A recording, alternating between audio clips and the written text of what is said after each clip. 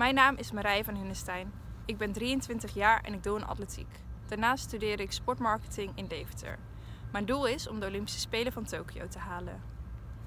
Op mijn basisschool had ik geen goede gymlessen en dat is juist zo belangrijk om te ontwikkelen als kind. Ik miste de plezier en de uitdaging en dat terwijl ik sport heel erg leuk vind. Daarom gun ik elk Gelders kind om zich te ontwikkelen op sportgebied. Wat vindt u? Moet de provincie meer investeren in talentontwikkeling?